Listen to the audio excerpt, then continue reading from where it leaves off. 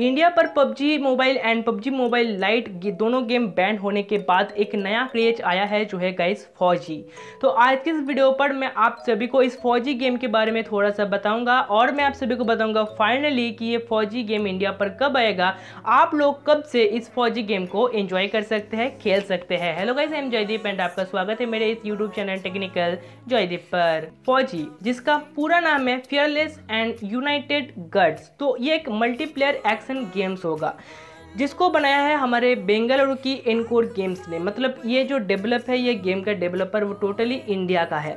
और अक्षय कुमार जी ने इस गेम के बारे में घोषित किया है। ये गेम खेलने के अलावा भी जो भी इस गेम को खेल लेगा वो हमारे देश के बारे में बहुत कुछ जान पाएगा। हमारे देश के आर्मी के बारे में बहुत कुछ जान पाएगा।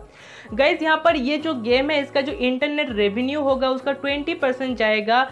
भारत के बीर ट्रस्ट में।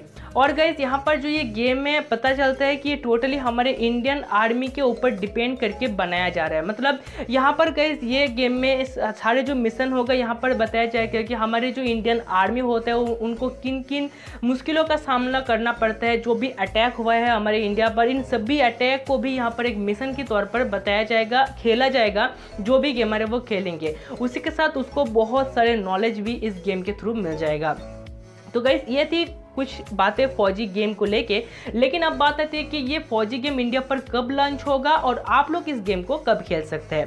तो गाइस अभी रिपोर्ट के अनुसार ये पता चलता है कि ये जो फौजी गेम है, ये ऑलरेडी डेवलप सब कुछ हो चुका है और अक्टूबर में ये फौजी गेम इंडिया पर लॉन्च होगा और आप लोग इस गेम को डाउनलोड करके खेल सकते हैं। लेकिन अक्टूबर की फ़र्स्ट वीक में होगा या फिर लास्ट वीक में होगा, ये नहीं पता चलता लेकिन ये पता चलता है कि अक्टूबर में ये फौजी गेम लॉन्च होगा और आप लोग इस गेम का इंजॉय उठा सकते हैं इस गेम को खेल के और बहुत सारे नॉलेज आप हमारे देश के बारे में जान सकते हैं। आई होप आप सभी को आज का वीडियो अच्छा लगा होगा। अगर वीडियो अच्छी लगी है तो वीडियो को लाइक करें शेयर करें चैनल को सब्सक्राइब करें, ऐसे इंटरेस्टिंग वीडियोस और भी देखने के लिए। मैं मिलता हूँ आप सभी से किसी दूसरे वीडियो पर। तब तक के लिए जय हिंद बंदे मातरम।